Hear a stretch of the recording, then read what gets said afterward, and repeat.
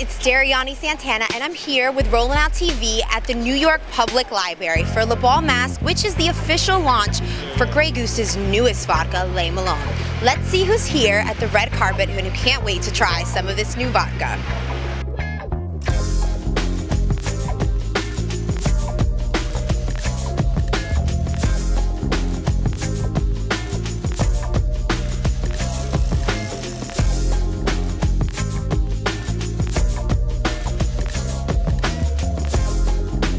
I am a hardcore vodka drinker. Maybe I'm not supposed to admit that, but I am. I'm part Russian. I don't know if that matters, but uh, literally, Oh. yeah, I um, love vodka. My favorite vodka drink is a super, super dirty vodka martini. Three blue cheese stuffed olives garnished with bacon. Okay, that's that's amazing. I I'm- call it the Hudson River Martini. It's where you hide all the dead bodies.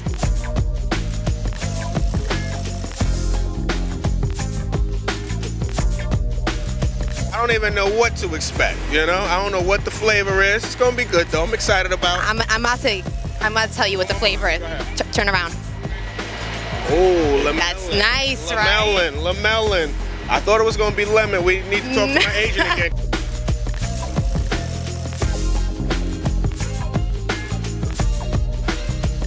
Well, Grey Goose is a great brand. You know, just happy to be a part. They get great events and they always make great flavors. So I'm just here to see and taste and see how things are going and meet all the wonderful people.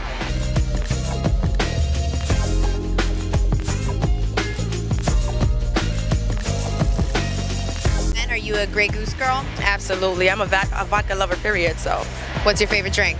vodka on the rocks. Grey Goose on the rocks. Lemon.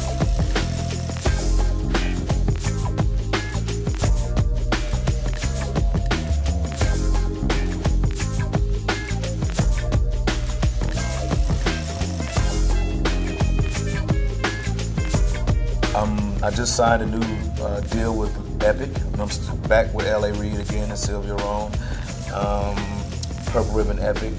And uh, on my third solo album, uh, dropped my last album, Vicious Lies and Dangerous Rumors, and before that, Sir Lucious Left Foot, Son of Chico Dusty. So this next record I'll be recording while we're on tour. Now we're doing the OutKast 20th anniversary uh, run, and we're just, you know, doing like 50 festival dates all the way up until uh, I think Halloween.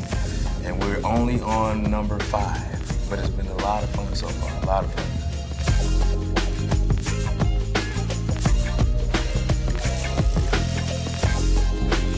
One of the best parts about it is just seeing the spiritual joy from the fans. It's like it's like a family reunion almost, you know, uh, because a lot of people they grew up with us. 20 years in the game, you got to think some people's parents turned them on to the music, and we- started out when we were 16 years old. So it's like we all grew up together, but you know, to see the fans interaction and just the energy they give us when we get to stage, man, it's beautiful, definitely.